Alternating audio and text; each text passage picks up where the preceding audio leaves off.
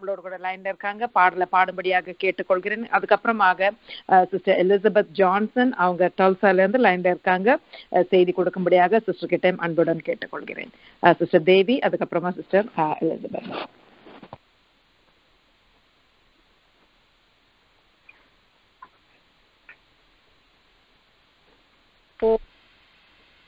தேவா உம்மை வாழ்த்துகிறோ வணங்குகிறோ போற்றுகிறோம் தேவா. இலவசமாய் கிருபையினால் நீதிமனாக்கி விட்டீ இலவசமாய் கிருபையினால் நீதிமனாக்கி விட்டீ என்னை நீதிமனாக்கி விட்டீ என்னை நீதிமனாக்கி விட்டீ. உம்மை வாழ்த்துகிறோம் வணங்குகிறோம் போற்றுகிறோம் தேவா. ஆவியினால் வார்த்தையினால் மறுபடி பிறக்க செய்தீ. ஆவியினால் வார்த்தையினால் மறுபடி பிறக்க செய்தி என்னை மறுபடி பிறக்க செய்தி உம்மை வாழ்த்துகிறோ வணங்குகிறோ போற்றுகிறோம் தேவா. உம் ரத்தத்தால் தெளிக்கப்பட்டோ ஓ புறவாக்கப்பட்டோ உம் ரத்தத்தால் தெளிக்கப்பட்டோ ஓ புறவாக்கப்பட்டோ. ஐயா ஓ புறவாக்கப்பட்டோ. உம்மை வாழ்த்துகிறோ வணங்குகிறோ. போதுகிறோம் தேவா. உம்மை நோக்கி பார்க்கின்றோ பிரகாசமடைகின்றோ. உம்மை நோக்கி பார்க்கின்றோ பிரகாசமடைகின்றோ. ஐயா பிரகாசமடைகின்றோ. உம்மை வாழ்த்துகிறோ வணங்குகிறோ போற்றுகிறோ. தேவா உம்மை அன்றி யாரிடம் செல்வோ ஜீவனுள்ள வார்த்தை நீரே. உம்மை அன்றி ஆமே யாரிடம் செல்வோ? ஜீவனுள்ள வார்த்தை நீரே. ஐயா ஜீவனுள்ள வார்த்தை நீரே. ஐயா ஜீவனுள்ள வார்த்தை நீரே. உம்மை வாழ்த்துகிறோ வணங்குகிறோ போற்றுகிறோ தேவா.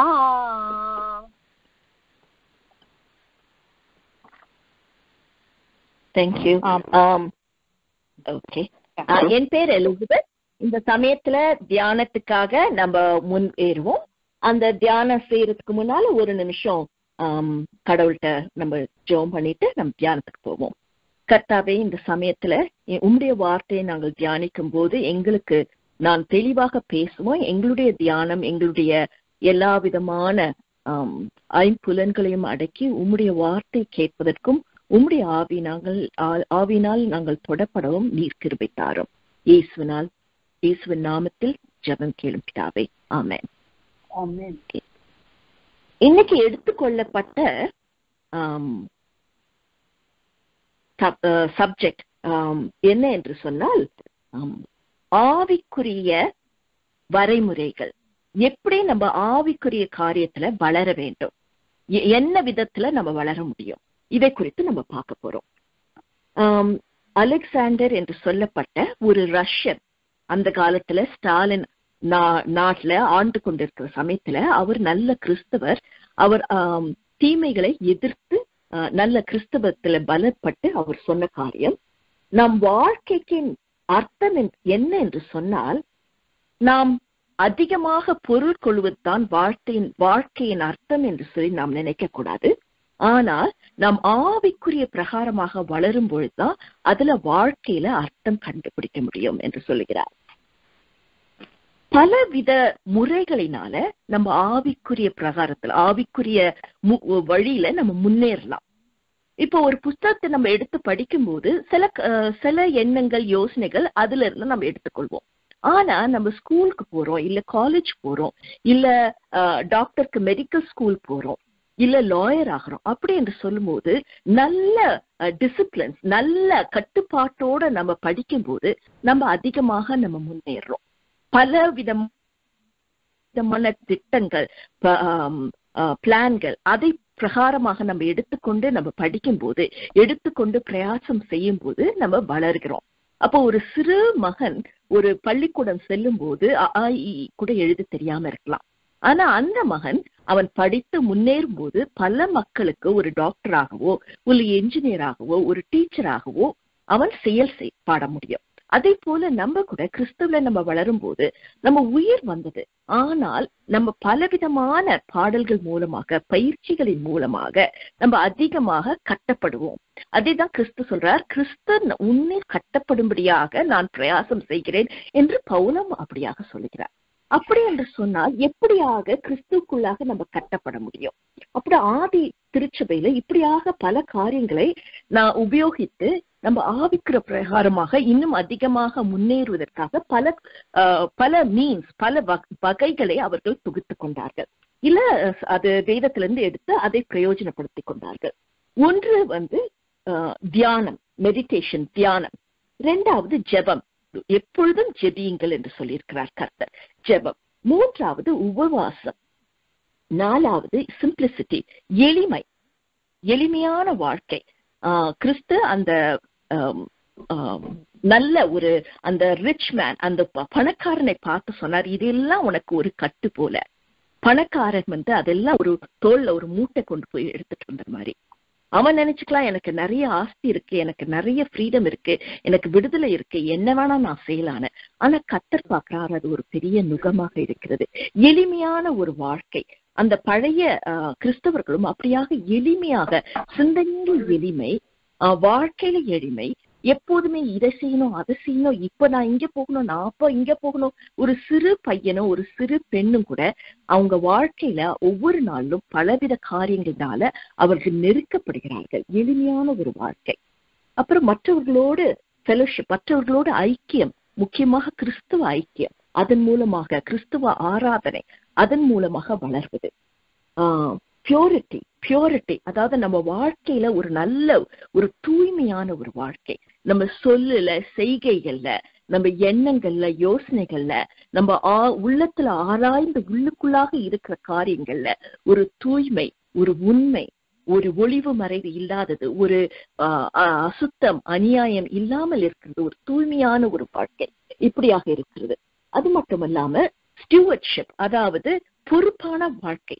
ஆஹ், நம்ம எல்லா காரியத்தையும் நம்ம கொடுக்கப்பட்ட நம்ம காரியங்கள். நம்ம கர்த்தர் எது நமக்கு கொடுத்திருக்கிறார்களோ ஒருவேளை தாயாக இருக்கலாம் ஒருவேளை நம்ம சகோதரியா இருக்கலாம் ஒருவேளை நம்ம மகளா இருக்கலாம் ஒருவேளை நம்ம டாக்டரா இருக்கலாம் ஒருவேளை நம்ம நர்ஸா இருக்கலாம் டீச்சரா இருக்கலாம் இல்ல கிராண்ட் மதரா இருக்கலாம் எந்த விதத்திலையும் நமக்கு என்ன பொறுப்புகள் கர்த்தர் நமக்கு கொடுக்கிறார்களோ அந்த பொறுப்புகள் எல்லாம் நம்ம ஒழுங்காக செய்வது.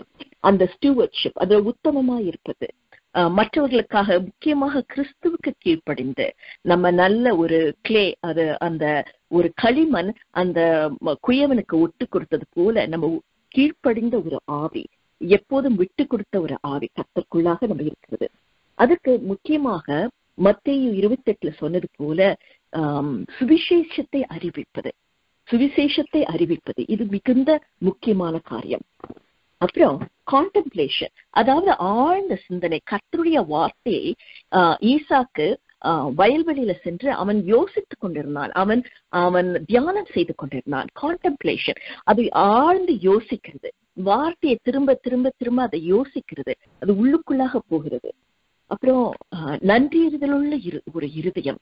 தனிமையை நாடுறது. கிறிஸ்து எல்லாரையும் விட்டுட்டு ஏன்னா எப்ப பார்த்தாலும் ஜனத்தொகை அவரை நெருக்கி கொண்டிருக்கிறனால தனிமையாக அவர் சென்று கர்த்தரோட பிதாவோட தனிமையாக உறவு கொண்டார். அந்த தனிமையில ஒரு காரியம் இருக்கிறது. வெளியரங்கமாக மட்டுமல்ல நம்ம கிறிஸ்துவம் உள்ளரங்கமாக அதாவது வெளியே வந்து மரம் செடி தெரியுது ஆனா உள்ளரங்கமாக வேறு நிலைந்து இருக்க வேண்டும். வேர் எவ்வளவுக்கு எவ்வளவு கீழே போகுதோ அவ்வளோக்குள்ள தான் அது நல்ல உரமாக ஒரு நல்ல சக்தியோட இருக்கும். அதே போல நம்ம எப்பொழுதுமே ஆழ்ந்த ஒரு வாழ்க்கையை நம்ம கிறிஸ்துக்குள்ள ஒரு ஆழ்ந்த ஒரு ஆஹ், வேர் ஊன்றிய ஒரு வாழ்க்கை நமக்கு வேணும். அதே போல நம்மையே நம்மை ஆராய்ந்து கொள்வது. கிறிஸ்துவ நம்மை ஆராய்ந்து கொள்ளும்படியாக நம்ம நம்மளை விட்டு கொள்ள வேண்டும். ஆஹ், எப்பொழுதும் நம்ம கிறிஸ்துவத்துல வார்த்தையில பார்க்கும் பொழுது ஒரு சமயத்துல ஒரு ஒரு ரோட்ல நம்ம நடக்கும் போது இடதுபுறமும் வலதுபுறமும் அந்த கோடுகள் இருக்கிறோம். அதுக்கு நடுவுல நம்ம கார் செலுத்தணும். அதுக்கு நடுவுல நம்ம நடந்து செல்லணும். இல்ல போக வேண்டும். அதே போல இந்த இப்புற இந்த சைட்ல ரொம்ப போயிட்டோம்னா அது தவறு. அடுத்த சைட்ல ரொம்ப போயிட்டோம்னா அதுவும் தவறு. நமக்கு ஒரு ஒரு கட்டுப்பாட்டை கர்த்தர் வைத்திருக்கிறார். அதற்குள்ளாக நம்ம நடக்க வேண்டும். ஆகையினால நம்ம எது நமக்கு தெரிய வேண்டும்? எதுல நம்ம குறைஞ்சிருக்கோம்? எதுல நம்ம மிகைப்பட்டிருக்கோம்? எதுல நம்ம அதிகமாக இருக்கிறோம்? அந்த நிலைமை நடுநிலைமைக்கு வருவதற்கு கர்த்தர் ஆஹ் ஒப்பு அதை நமக்கு வேணும். அதாவது எப்போதுமே நம்ம வெளியே போயிட்டு நம்ம எப்ப பார்த்தாலும் சர்ச்லயே இருந்துட்டு ஆனா தனி ஜெபம் இல்லாம இல்ல நம்ம எப்போதும் வீட்டுக்குள்ளேயே தனி ஜெபம் இருந்துட்டு சர்ச்சுக்கு போகாம எப்படியாவது எல்லாத்துலயும் ஒரு பேலன்ஸ் எல்லாத்துலயும் ஒரு நிலைமையான ஒரு வாழ்க்கை வேணும். அப்புறம் கம்யூனியன் எடுக்கிறது சர்ச்ல சாக்ரமெண்ட்ஸ் எடுக்கிறது. அதுக்காக அது போல அது நல்- மிகுந்த நல்ல காரியங்களாகும். கிறிஸ்தவ பண்டிகைகள் பழைய ஏற்பாட்டை எடுத்துக்கொண்டு சென்றோம் என்றால் டே ஆஃப் அட்டோன்மெண்ட் அப்புறம் பல பண்டிகைகள். அந்த பண்டிகை மூலமாக கடவுள் அவர்களுக்கு சில காரியங்களை கற்றுக் கொடுத்திருக்கிறார். பஸ்கா பண்டிகை. இந்த போல பண்டிகையின் மூலமாக கத்தர் கற்றுக் கொண்டிருக்கிறார். அதே போல நாமும் நம்ம கிறிஸ்து பிறப்பு இறப்பு உயிர்த்தெழுதல் இந்த பண்டிகை மூலமாக என்ன கத்தர் செலுத்து என்ன கத்தர் நமக்கு சொல்லுகிறார் என்று சொல்லி நம்ம ஆராய்ந்து அதை அதுல நம்ம பங்கு பெறுகிறது. அப்புறம் மற்றவர்களுக்கு உதவி செய்யும் ஒரு வாழ்க்கை. அப்புறம் ஆஹ், சமுதாயத்துல கர்த்தர் நியாயமும் நீதியும் சமாதானமும் உருவாக்கும்படியாக நம்மை அழைத்திருக்கிறார். அதாவது தாவீதின் சிங்காசனத்தில் வீற்றிருக்கிற கர்த்தர் நீதியும் நியாயத்தையும் செய்யும்படியாக அவர் அவருடைய வைராக்கியத்துல அவர் கட்டளையிடுகிறார் என்று சொல்லியிருக்கிறார். நம்மையும் தேவன் ஒளியா இருக்கிறது போல அப்போ ஒளி எண்ணத்தை என்னத்தை போக்கும்? இருட்டை போக்கும். உலகத்தில் இருக்கிற அநியாயங்கள் உலகத்தில் இருக்கிற தீமைகள் உலகத்தில் இருக்கிற விக்கினங்கள் உலகத்தில் இருக்கிற வன்முறைகள் இது எல்லாவற்றையும் ஒளியானது போக்க வேண்டிய காரியங்கள். அவன் நம்மையும் கர்த்தர் நீதியும் நியாயத்தையும் சமாதானத்தையும் உருவாக்கும்படியாக உங்களை என்னையும் வெளிச்சமாக கற்றுக்கொண்டு கேட்டிருக்கிறார். அப்படியாக நம்ம வாழ வேண்டும் என்று. மற்றவர்களுக்கு நமக்கு பயன்படுத்திக் கொள்ள வேண்டும். மற்றவர்களிடத்துல போய் நம்ம சீஷர்களாக்கும்படியாக நம்ம மற்றவர்களுக்கு சுவிசேஷத்தை மட்டுமல்ல வேதத்தில் இருக்கிற ஆழ்ந்த காரியங்களை பகிர்ந்து கொண்டு அவர்களை சீஷர்களாக்க வேண்டும். இந்த காரியங்களை நம்ம பழக பழக பழக பழக நம்ம சில காரியங்களை ஜாஸ்தியாக செய்யலாம் சில காரியங்களை குறைவாக செய்யலாம். ஆனா இந்த காரியங்களை நம்ம பழக பழக பழக நம்ம அதிகமாக கிறிஸ்துக்குள்ளாக நம்ம வளருவோம் என்று சொல்லி நம்ம பாக்குறோம் இப்போ ஒரு எக்ஸாம்பிள் நான் சொல்ல ஒரு உதாரணம் நான் சொல்ல விருப்பப்படுகிறேன். ஒரு ஒரு ஒரு சைக்கிள் எடுத்துக்கொள்ளுங்க. பைசைக்கிள்னு எடுத்துங்க இல்லைன்னா ஒரு ப- ஒரு படகுன்னு எடுத்துங்க அப்போ அதுக்கு வந்து ஸ்டியரிங் அதோடைய அந்த இது ஸ்டியரிங் வீல் இருக்கும். வீல் இருக்கு அப்புறம் ஸ்டியரிங் இருக்கு. அது யார் அந்த வழியை திருப்புவாங்க? நம்ம திருப்புறோம் ஆனா நம்ம கிறிஸ்துடைய அதிகாரத்துக்கு அடியில இருந்து எங்க எந்த திசையில நம்ம செல்ல வேண்டுமோ அந்த திசையில கிறிஸ்து அனுமதிக்க நம்ம செல்ல வேண்டும். அதே போல அந்த அந்த வீல் எல்லாம் நீங்க பாத்தீங்கன்னா நடுவுல ஒரு ஹப் இருக்கும். அந்த ஹப்ல கிறிஸ்துக்கு மையமாக அந்த வீல்ல ஒரு ஒரு கம்பியும் ஒன்னு சின்ன கம்பி ஒன்னு பெரிய கம்பி ஒன்னு சரிப்படாம இருந்ததுன்னா ஓட்ட உடச்சலா கம்பியா இருந்தா அந்த அந்த சக்கரம் போக முடியாது. அதே போல நம்ம வாழ்க்கையில ஒவ்வொரு கம்பியும் ஒழுங்கான இருக்க வேண்டிய நிலைமையில இருக்கணும். ஒரே நான் இவாஞ்சலிசம் மட்டும் பண்ணுவேன் ஆனா நானு யாருக்கும் காசு கொடுக்க மாட்டேன். இல்ல நான் எல்லாருக்கும் தான தர்மம் செய்வேன் ஆனா எனக்கு சாட்சி கொடுக்க முடியாது. என்று இப்படியெல்லாம் இல்லை. எல்லா விதமான ஆவிக்குரிய வரங்கள் ஆவிக்குரிய மூலங்களால நம்ம வளர்க்கப்பட வேண்டும். அதை நம்ம உபயோகப்படுத்த வேண்டும். முக்கியமாக கிறிஸ்து நம்ம வாழ்க்கைக்கு மையமாக இருக்க வேண்டும். கிறிஸ்து ஏதோ ஒரு மூலையில இருக்கிறாரு. ஆனா நான் அப்ப என்ன சொல்லும் போது ஹப் வந்து நடுவுல மேல தனியா இருக்கும். அப்போ கம்பிகள்லாம் வேற வேற இடத்துல இருந்ததுன்னா அந்த சக்கரம் சரியாக சொல்ல முடியாது. அது மட்டும் இல்ல அந்த சைக்கிள்ல நம்ம போகும்போது அது தரையில சரியா போகணும். அது தரையில போகாம ஆகாயத்துல பறக்க முடியாது. நான் ஒரு ஒரு சபையை கட்டிட்டு நான் அப்படியே நான் தியானம் பண்ணிட்டே இருப்பேன். நான் வெளியே நான் போய் மக்களுக்கு நான் சுவிசேஷம் அறிக்க முடி அறிவிக்க முடியாது.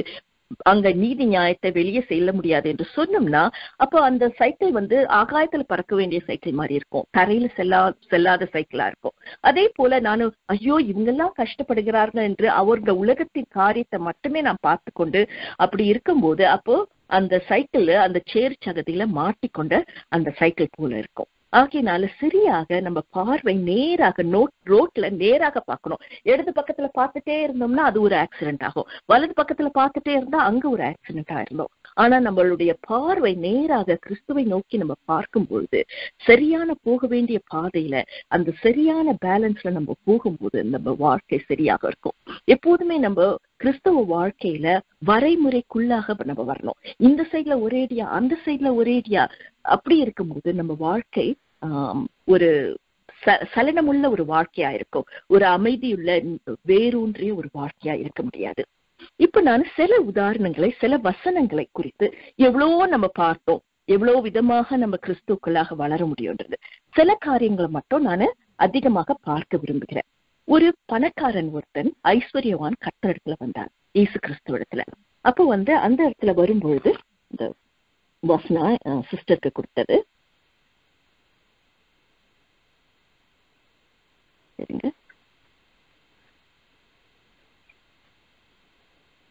ஒரு அந்த ஐஸ்வர்யவான் கத்திரத்துல வந்து நான் எல்லா காரியத்தையும் நான் செய்துட்டேன். அந்த வாலிபவர் அவரை நோக்கி இவைகளை எல்லாம் என் சிறு வயது முதற்கொண்டு கை கொண்டிருக்கிறேன். அதாவது எல்லா கட்டளைகளையும் நான் கை கொண்டுட்டேன். தசபாக பாகம் கொடுக்கணுமா? இல்ல சபைக்கு செல்லணுமா? எல்லா காரியம் இல்ல அப்பா அம்மாவை என்ன கனம் பண்ணணுமா? எல்லா கட்டளைகளையும் கை கொண்டிருக்கிற கர்த்தாவே இன்னும் என்னிடத்துல என்ன குறைவு இருக்கு? என்று சொன்னார். அதற்கு ஏற்று நீ பூரண சற்புணரா இருக்க விரும்பினால் போய் உனக்கு உண்டானவைகள் விற்று தரித்திரருக்கு கொடு. அப்பொழுது பரலோகத்தில் உனக்கு பொக்கிஷம் உண்டாயிருக்கும். பின்பு என்னை பின்பற்றி வா என்றார். அந்த வாலிபன் மிகுந்த ஆஸ்தியுள்ளவனாய் இருந்தபடியால் இந்த வார்த்தையை கேட்ட பொழுது துக்கமடைந்தவனாய் போய்விட்டான்.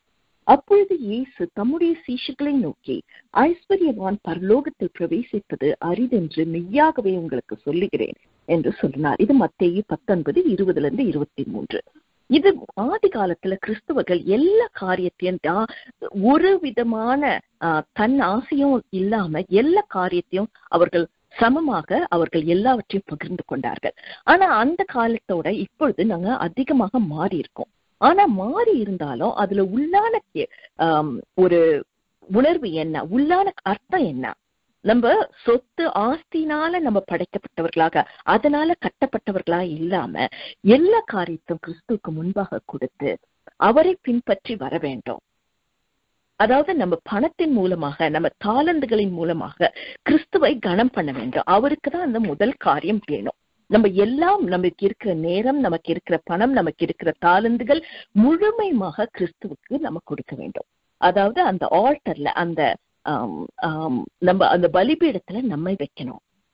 எல்லாமே நமக்கு நமக்கு நம் நாம் செல்ஃப்க்கு நமக்கு நமக்கு மறித்து பாவத்திற்கு ஆஹ் மறித்து நமக்கு மறித்து கிறிஸ்துவுக்காக வாழ வேண்டும். அது மிகுந்த முக்கியமான காரியம்.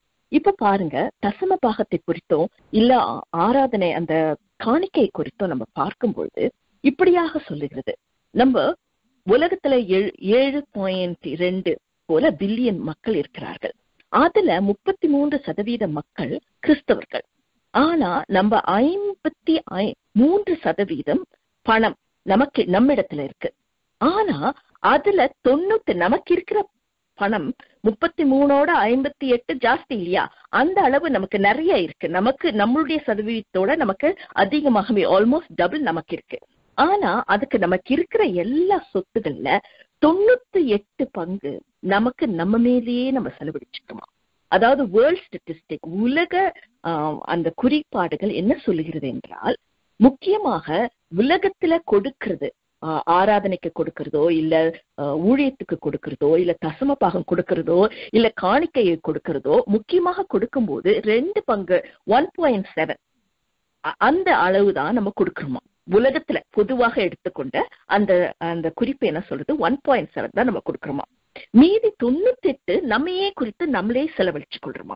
அப்படி கொடுக்கப்பட்ட அந்த ஒன் பாயிண்ட் செவன்ல அதுல நம்ம எடுத்து பார்த்து சுவிசேஷத்தை கிறிஸ்து என்ன சொன்னாரு? மத்திய இருபத்தி எட்டுல உலகமெங்கும் சென்று நீ சுவிசேஷத்தை அறிவீனு. அது கூட ஒரு ஆவிக்குரிய ஒரு வழி வழி வழியில கர்த்தருடைய சுவிசேஷத்தை நம்ம அறிவித்து அது நமக்கு கொடுக்கப்பட்ட ஒரு கட்டளை. இது மூலமாக நம்ம வளர்வோம். இக்கிறிஸ்து சொன்னதை நம்ம கீழ்ப்படிவோம் வார்த்தை படிக்கிறது மட்டும் இல்ல அதை கீழ்ப்படிவோம் அப்படி சொல்லப்பட்ட காரியத்துல நம்ம பார்க்கும்போது அதுல எண்பத்தி சொல்ற எண்பத்தி ஏழு. சோ ஒன் பாயிண்ட் செவன் தான் நமக்கு நம்ம தசம பாகம் காணிக்கை கொடுக்கிறோம். இது உலகத்துல இருக்கிற குறிப்பு நான் சொல்றேன். எல்லா உலகத்துல இருக்கிற கிறிஸ்துவர்கள் எவ்வளவு கொடுக்குறாங்க? சாதாரணமாக சொல்றது. உங்களை பத்தி என்ன பத்தி நான் சொல்லல. இதுல இதுல இப்படி தசம பாகம் கொடுத்தப்பட்ட அந்த அந்த அளவுல எடுத்து எண்பத்தி ஏழு சதவீதம் சபைக்குள்ளேயே செலவாகுது. பன்னெண்டு சதவீதம் சுவிசேஷம் அறிவிக்கிறார்கள். ஆனா யார்கிட்ட அறிவிக்கிறார்கள்? அறிவித்த மக்கள் கிட்டேயே அறிவிக்கிறார்கள். அவர்கள்லாம் கிறிஸ்தவர்கள் அல்ல. ஆனா நம்ம அவங்க ஃப்ரெண்டா இருக்கலாம் இல்ல பக்கத்துல இருந்தவங்களா இருக்கலாம் இல்ல இவங்க இவங்களுடைய சகோதரரா இருக்கலாம் இல்ல அவங்க தெரிஞ்சவங்களா இருக்கலாம். ஆனா அவர்கள் கிட்டயே ஆனா அவர்கள்ட்ட முந்தி சுவிசேஷம் அறிவித்திருக்கிறோம். ஆனா அது நல்லது. அறிவிக்கிறது தப்பு நான் சொல்ல. பன்னெண்டு சதவீதம் நம்ம அவர்கிட்டயே அறிவித்திருக்கோம். ஆனா கிறிஸ்துவை அறியாத மக்கள் கிறிஸ்துவை ஒரு வழியும் அறியாத மக்கள்கிட்ட எவ்வளவு தடவை நம்ம சொல்றோம் அந்த ஒர்க் ஒரு பெர்சன்ட் தான் அந்த அறியாத மக்கள் கிட்ட அந்த சுவிசேஷம் அறிவிப்பதற்காக உபயோகிக்கப்படுது. அப்ப நீங்க பாருங்க ஒரு தகப்பன் தாய்க்கு பிள்ளைங்க இருக்காங்க. யார அதிகமா அவங்க நோக்குவாங்க? நல்ல புஷ்டியா குண்டா இருக்கவங்க கிட்டயா இல்ல ஒருவன் பலவீனமாக இல்ல ஒருவன் அவன் ஆபத்துல சிக்கி இருக்கவன் ஒரு ஒருவன் ஒன்றில்லாம இருக்கிற அந்த மகனை பார்த்து இல்ல அவனுக்கு ஒரு விபத்தோ இல்ல ஒரு ஒரு சுகவீனமோ இருக்கிற அந்த பிள்ளைய பார்ப்பாங்களா? இல்ல நல்ல சுகித்து நல்ல தூங்குற பிள்ளைய பார்ப்பாங்களா? அம்மா அப்பாவும் யார் கஷ்டப்படுறாங்களோ அந்த பிள்ளைக்கு அதிகமாக அவங்க நேரத்தையும் தாளந்துகளையும் செலவழிப்பாங்க. ஆனா கிறிஸ்துவ சபையில நீங்க பார்க்கும்போது எல்லா காரியமும் தொண்ணூத்தி எட்டு சதவீதம் நம்மை குறித்து நாம பார்த்துக்கொள்றோம். இது உண்மையாவே கிறிஸ்துவுடைய காரியத்தை கிறிஸ்துவுடைய எண்ணங்கள் கிறிஸ்துவுடைய சட்டத்தை நம்ம பாக்குறோமா என்று சொல்லும் பொழுது நம்ம கொடுக்கிறோம் கொடுக்கலன்னு நான் சொல்லல. ஆனா கொடுக்கறத எப்படி நம்ம உபயோகிக்கிறோம்? நமக்குள்ளேயே நம்ம உபயோகிச்சுட்டு இருக்கோம். அப்போ ஒரு ரெண்டு பெர்சன்ட் மூணு பெர்சன்ட் தான் வெளியே போகுது. அந்த பன்னெண்டு பெர்சன்ட் கூட நம்ம சுவிசேஷம் அறிவிக்கிறவங்களுக்கு தெரிஞ்சவங்களுக்கு தான் போகுது. அப்ப எவ்வளவு ஒரு கர்த்தர் நம்ம பார்க்கும்போது கர்த்தருடைய இருதையை எப்படி எவ்வளவு கஷ்டப்பட்டு அவர் அவருடைய இருதையை எப்படி சுக்கலாக இருக்கோ சுக்குநூறாக அவருக்கு வெடிக்கும் நீங்க பாருங்க. இப்ப ஒரு தகப்பனுக்கு அம்மா பாத்துக்கோமா உன் சின்ன தம்பி அவன் ரொம்ப ஆபத்துல இருக்காமான்னு சொல்லிட்டு வந்தா அந்த தம்பியை பார்க்காம மத்தவங்களோடு இருந்து நல்ல சாப்பிட்டுட்டு அந்த தம்பியை பேசாம விட்டோம்னா அந்த குழந்தைய தனியா விட்டுட்டோம்னா அப்ப அம்மா அப்பாக்கு எவ்வளவு மனசு கஷ்டமாகும்? அதே போல கிறிஸ்து பரலோகத்துக்கு போகும்போது இந்த உலகத்தன்னை உங்க மேலேயும் எங்கிட்டயும் கையில கொடுத்தம்மா இந்த உலகத்தை நீ பார்த்துக்கோன்னு சொல்லிட்டு போயிருக்காரு. உலகத்துக்கு நான் வெளிச்சமா இருக்கேன் நீயும் வெளிச்சமா இருன்னு சொல்லிட்டு போயிருக்காரு. நம்ம கொடுக்கிறோம் நான் கொடுக்கல. ஆனால் கொடுக்கும் போது இயேசு கிறிஸ்து சொல்றாரு நீ கொடுக்கறவங்களுக்கு நீ கொடுக்குற நீ அவங்களுக்கு சாப்பாடு கொடுக்குற அவங்க உனக்கு சாப்பாடு கொடுக்குறாங்க. இப்படியே நீ செய்து கொண்டிருந்தா அங்க வெளியில இருக்காங்களே. உனக்கு திரும்ப கொடுக்க முடியாம எவ்வளவு பேர் இருக்காங்க? ஒரு எச்சலை கூட எடுக்க முடியாம எவ்வளவு பேர் இருக்காங்க? இயேசு கிறிஸ்து யார் என்று அறியாம எவ்வளவு பேர் இருக்காங்க? இப்படி சொல்லும் போது நம்ம சொல்றவங்களுக்கே நம்ம சொல்றோம். அது நல்ல காரியம். யார்கிட்ட சொன்னாலும் அது நல்ல காரியம். ஆனா ஒன்று அறியாம எவ்வளவு பேரு மறிச்சு கொண்டு இருக்காங்க அவங்களுக்கு யார் சொல்வா? சொல்றாங்க ஒரு பில்லியன். உலகத்தை பாருங்க இப்ப ஏழு பில்லியன் தாண்டி இருக்கான் அந்த ஒரு பில்லியன் நாற்பது வருஷத்துல ஒரு பில்லியன் மக்கள் இயேசு கிறிஸ்து யார் என்று அறியாம ஒரு பில்லியன் மக்கள் இந்த நாற்பது வருஷத்துல மறித்து போயிருக்காங்க. ஒரு பில்லியன் மக்கள். தினம் இயேசு யார் என்று அறியாமல் எழுபதாயிரம் பேர் தினம் தினம் இயேசு யார் என்று அறியவே இல்லை. எழுபதாயிரம் மக்கள் இயேசு யார் என்று அறியாமல் மறித்து போகிறார்கள். இப்படி பார்க்கும்போது நம்ம நம்ம பண்றோம் தான். நம்ம பண்ணலன்னு நான் சொல்லவே இல்லை. நம்ம சபைக்கு போறோம் ஆஹ் அதிகமாக செபிக்கிறோம் நம்ம கொடுக்கிறோம். ஆனா எங்க போகுது? இப்போ ஒரு மேனேஜர் இருக்காரு. அவருடைய கம்பெனி நடத்துறாருன்னா டெய்லி போயிட்டு இந்த மீட்டிங் இருக்கும் அந்த மீட்டிங் இருக்கும் இந்த ஃபோன் கால் வரும் அந்த ஃபோன் கால் வரும். அதை அவர் அட்டென்ட் பண்ணாருன்னா கடைசியில அவர் அந்த பேலன்ஸ் ட்ரீட்மெண்ட் பார்க்கும்போது அவர் அதை பார்க்கும்போது எது எது லாபம் எது நஷ்டம் பார்க்கும்போது அவரால் அந்த கம்பெனியை நடத்த முடியாது. அவர் என்ன தினம் பார்க்கணும் எந்த வேலையை முதல்ல நான் செய்யணும்? அந்த வேலையை முதல்ல செய்து முடிச்சுட்டு மற்ற காரியத்தை பார்க்கணும். இப்ப ஒரு விவசாயி இருந் விவசாயியா இருந்தாருல எந்த சமயத்துல ஆஹ் உழவு செய்யணும்? எந்த சமயத்துல நான் உழவு எப்ப போடணும்? சீட்ஸ் எப்ப போடணும்? எப்ப நாத்து நடணும்? எப்ப அறுவடை செய்யணும்? அந்தந்த காலத்துல அந்தந்த காரியத்தை செய்யணும். நம்ம நிறைய காரியம் நம்ம செய்யறோம் ஆனா பலன் எப்படி போகும். அதே காரியத்தை இன்னொன்னு நான் பார்க்கணும். ஏசாயா ஐம்பத்தெட்டு.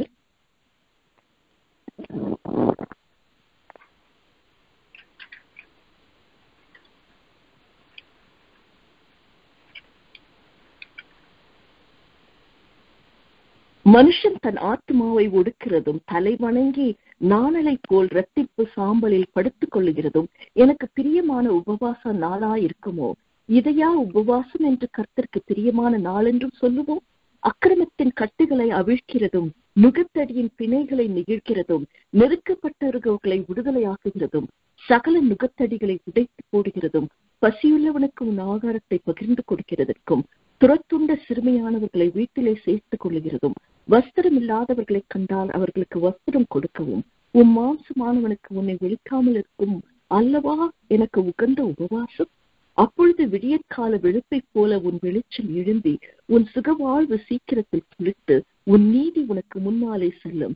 கர்த்தருடைய மகிமை உன்னை பின்னாலே காக்கும். அப்பொழுது நீ கூப்பிடுவாய் கர்த்தர் மறு உத்தரவாய் கொடுப்பார். நீ சத்தமிடுவாய் இதோ நான் வருகிறேன் என்று அவர் சொல்லுவார். நுகத்தடியையும் விரல் நீட்டுதலையும் நியச்சொல்லையும் நீ உன் நடுவிடத்திலிருந்து அகற்றி பசியுள்ளவனிடத்தில் உன் ஆத்மாவை சாத்து சாய்த்து சிறுமைப்பட்ட ஆத்மாவை திருப்தியாக்கினால் அப்பொழுது இருளில் உன் வெளிச்சம் உதித்து உன் அந்தகாரம் மத்தியானம் போலவும் கத்த நித்தமும் உன்னை நடத்தி மகா வறட்சியான காலங்களில் உன் ஆத்மாவை திருப்தியாக்கி உன் எலும்புகளை நினமுள்ளதாக்குவார் நீ நான் நீர்ப்பாய்ச்சல் உள்ள தோட்டத்தைப் போலவும் வற்றாத நீரூற்றைப் போலவும் இருப்பாய். ஏசாயா ஐம்பத்தி எட்டு ஐந்துல இருந்து பதினொன்று. அப்பொழுது நம்ம பார்க்கும்போது நம்ம பல காரியங்களை செய்யறோம் ஆனா இந்த உலகத்துல நீதியும் நியாயமும் நிலைநிற்ற வேண்டும் என்று சொல்லுகிறார். நானு ஒரு ஒரு சமயம் அஹ், நேபாள் தேசத்துல ஒரு ஒரு சுவிசேஷத்துக்காக ரெண்டு வருஷம் அங்க போய் தங்கியிருந்தோம். அப்பொழுது இந்த வெளியூர்ல வந்திருந்த சுவிசேஷகர் மிஷினரிமார்கள் ஒரு பெண்கள் விடு விடுதியை அமைத்திருந்தார்கள். அப்பொழுது நாங்க சென்றிருந்தேன் அப்ப அவங்க சொன்னாங்க இந்த பெண்கள் எல்லாம் இந்த red light district Bombay red light district அதாவது அந்த விபசார விடுதி அந்த இடத்துல இருந்து இவங்க எடுக்கப்பட்டிருக்காங்க. இவங்க எல்லாம் ஒரு எட்டு வயசுல இருந்து பதினோரு வயசுக்குள்ளாக நிறைய பேரு நிறைய லாரி கார் போல எடுத்துட்டு வந்து சிறு சிறு பிள்ளைங்கள் விளையாடி கொண்டிருக்கிற பிள்ளைகள் அவர்கள் எல்லாம் கடத்தி கொண்டு சென்று அவங்க எல்லாம் கொண்டு போய் அந்த ரெட் லைட் டிஸ்ட்ரிக்ட் அந்த பாம்பேல இருக்க ரெட் லைட் டிஸ்ட்ரிக்ட்ல அவர்கள் உபயோகப்படுத்தி ஒரு முப்பது நாற்பது வயசுக்குள்ளாக எய்ட்ஸ் அந்த காலத்துல நான் அங்க வேலை செய்யும் போது எய்ட்ஸ் தான் பெரிய இப்ப கோவிட் இருக்கிறது போல அப்ப எய்ட்ஸ் தான் பெரிய ஒரு ஒரு ஒரு காரியமாக இருந்தது ஒரு பெரிய பிளேகா இருந்தது. அந்த சமயத்துல அவங்க வந்து இந்த இவர்கள் எல்லாம் எய்ட்ஸ் பலவிதமான வியாதிகள் இப்படி நடக்கும். அதுக்கப்புறம் இவங்க கொண்டு போய் அவங்க அப்படி தெருவுல விட்டு விடுவாங்க.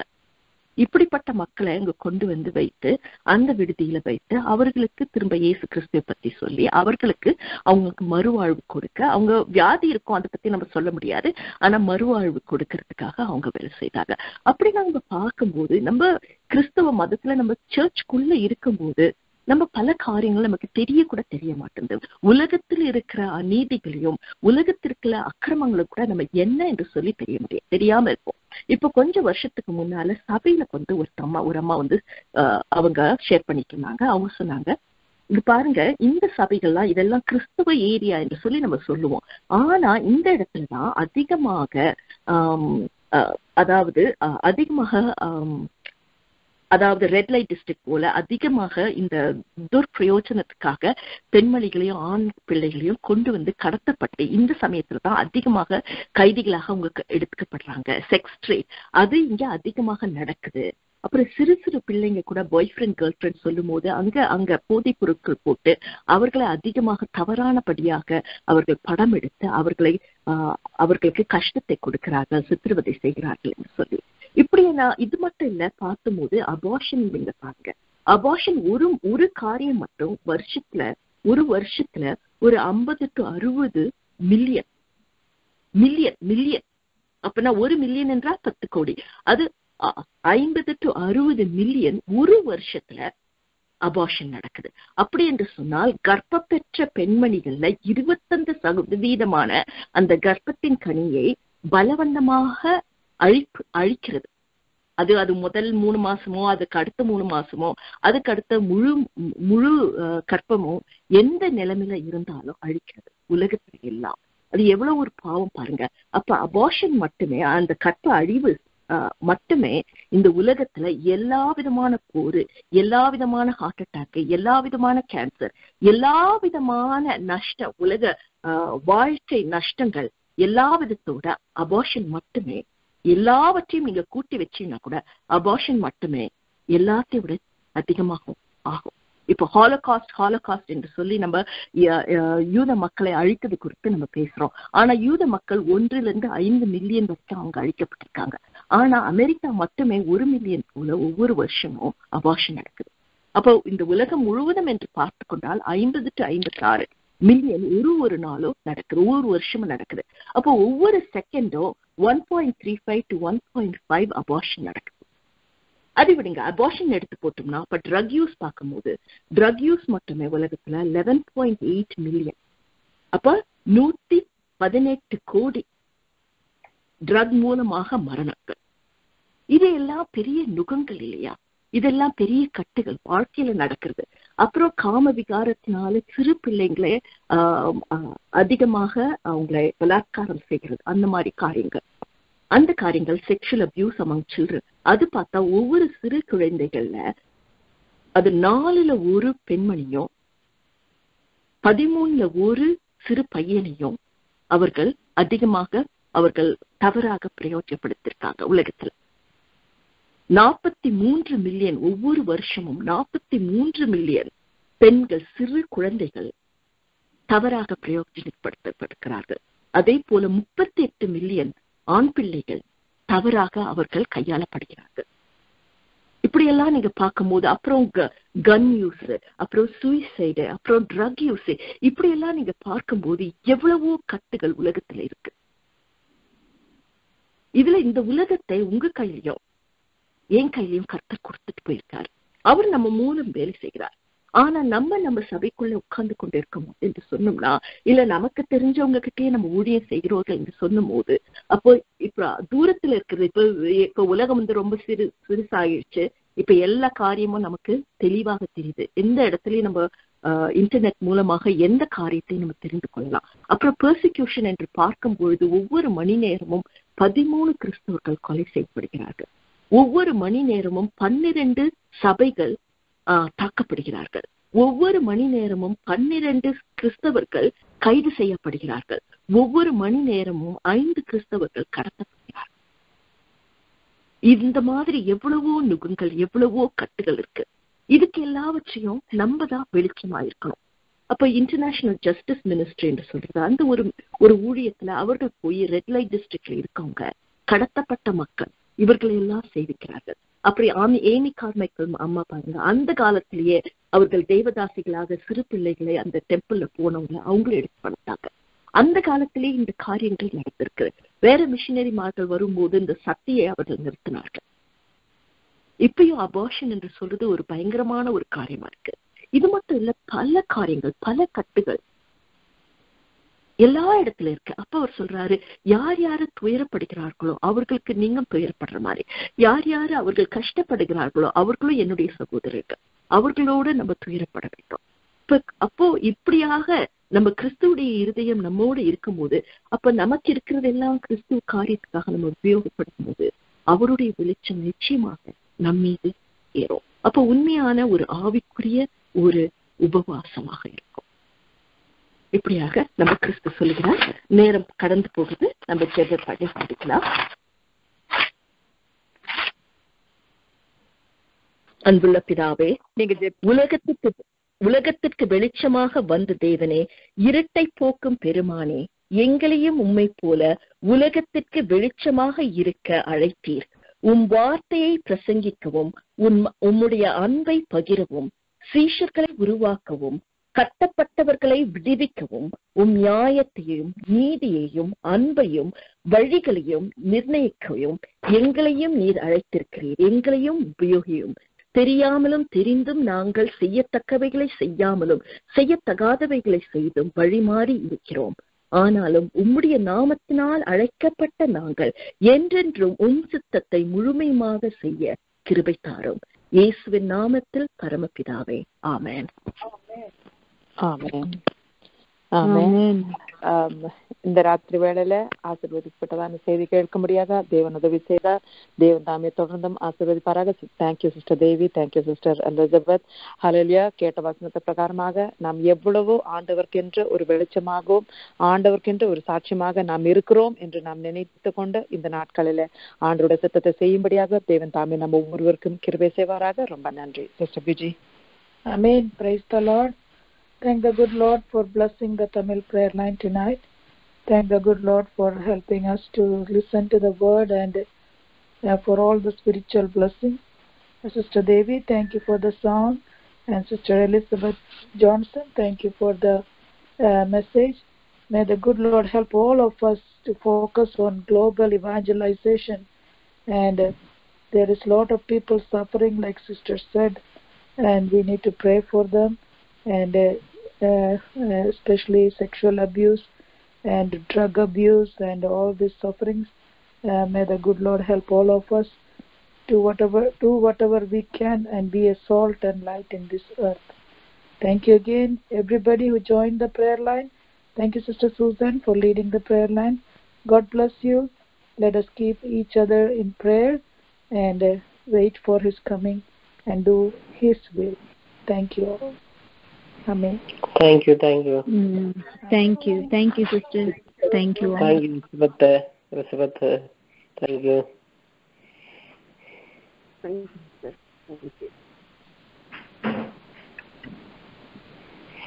Hallelujah. So, so, so.